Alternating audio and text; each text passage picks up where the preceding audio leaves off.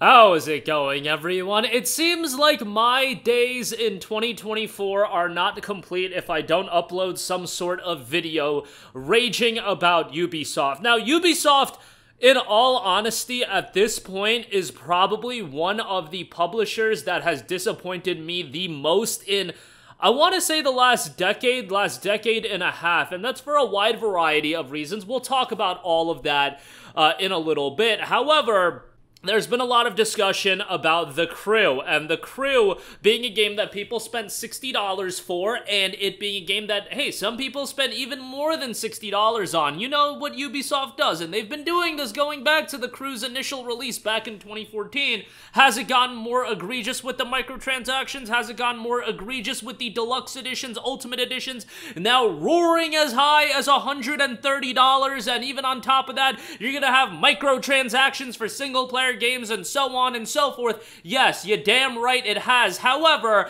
this has been happening for damn near a decade at this point with Ubisoft and all of their nonsense. And The Crew is a game that people paid a premium price for.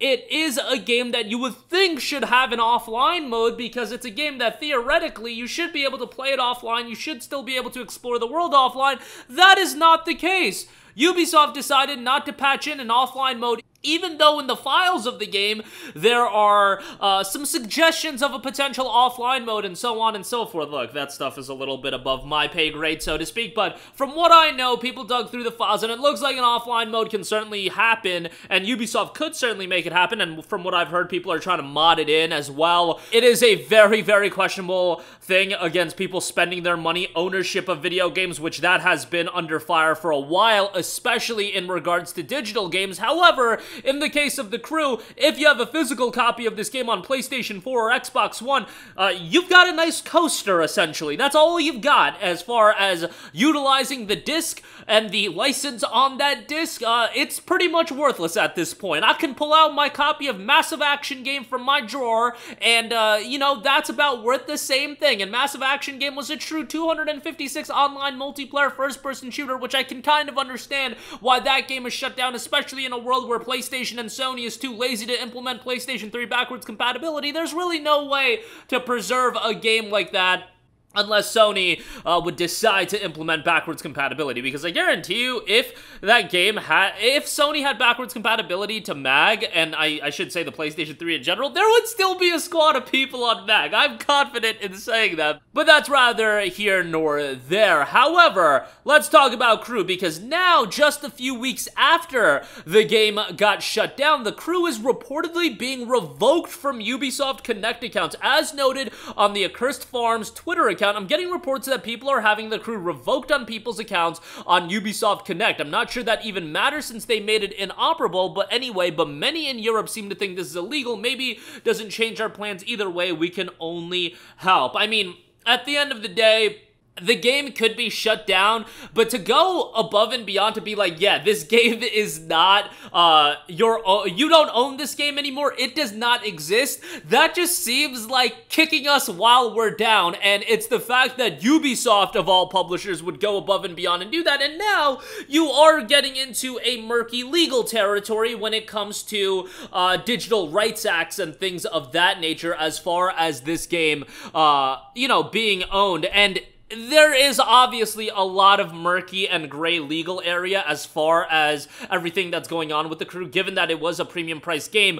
Um, you know, it shutting down in the first place is a big deal given that, again, you're losing access to a game that you paid money for it being revoked, it doesn't sound that crazy, but now you're pushing the envelope one step further in terms of literally just taking away ownership of the game. If the game was still downloadable in a sense, maybe you can finagle your way into modding the game or something like that. I don't know. I don't know as far what you could do. I actually have a copy of The Crew on Steam, and I am still able to install the game onto Steam. Obviously, I'm installing something that's absolutely worthless at this stage of the game, so it doesn't really uh, Uh, matter, but Ubisoft taking the crew away from buyers now uh, deprives you of the game files as well, which you should have access to the game files. At least I would think. I don't know entirely how the legal system works for anything like this, but it sounds a little bit crazy to me that this is all going on. And it's insult to injury when it's coming from a publisher like Ubisoft.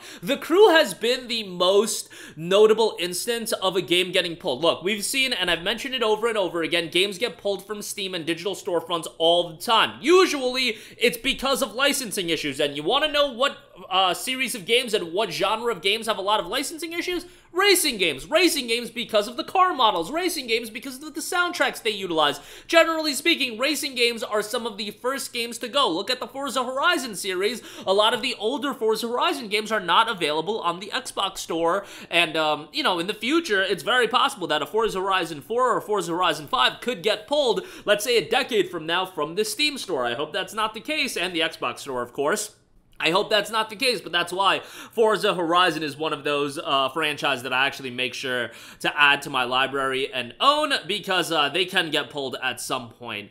Um, but nevertheless, racing games have always been uh, some of the titles to get pulled. Obviously, when you have licensed IPs like a Transformers, a Deadpool, those games are also uh, possible to get pulled. And it's all determined on what uh, sort of licensing deal you have. You can sign licensing deals for perpetuity to use that content in perpetuity perpetuity. However, the issue with that is, I would imagine it's incredibly expensive to go down that route. Like, could you imagine how expensive that would be? That would be pretty damn expensive, but I digress. Uh, in the case of Ubisoft, they could have easily patched in an offline mode for the crew, taken the game offline, but no, they decided to shut down the game entirely, and now you just lose complete access to the game, and they're going one step further than that by revoking the files from you if this is true across the board. Again, as far as Steam is concerned, I'm still able to install this game onto Steam as I'm recording this video, but the fact that enough people have faced this issue is just wild to me, and Let's just say this is a uh, oversight by Ubisoft or something like that. Ubisoft still, at this point, should be one of those publishers that people absolutely trash. And it's not like they're a publisher that doesn't have a bevy, a ridiculous, an absurd amount of top-level IPs under their, uh, their umbrella. With Assassin's Creed, Splinter Cell, Beyond Good and Evil 2 is in dev, uh, dev hell, but, you know, that's still a thing. Splinter Cell, so on into Prince of Persia, and I can go on and on. And I get that they're doing Rogue of Prince of Persia, version. Hopefully that's good. But, you know, they've got so many top level IPs that you think that they would be able to create quality games. And I get it greed is possible. Uh, greed is going to be something that everybody experiences in various ways. There's times on this YouTube channel, let's be real, I get a little bit greedy with the content I upload, but I feel like we all need to have managed greed. We all need to have some sort of managed level of greed, and I feel like Ubisoft has taken greed and they've gone to the nth degree with it. They've gone so insane with their level of greed that it's just mind-boggling. I'm all for you trying to figure out how to make a little bit more money on your games. Games are expensive. You're a business that needs to be profitable.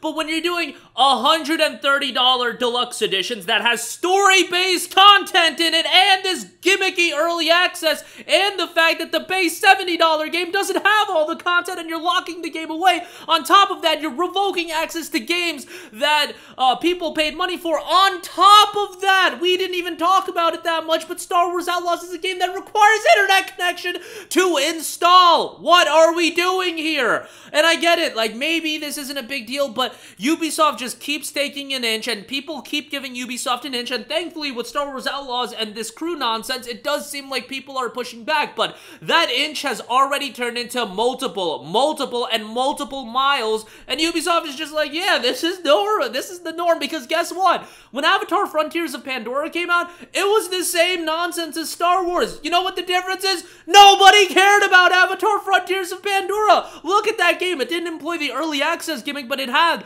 the $130 deluxe edition with a season pass that was valued at $40. What are we doing?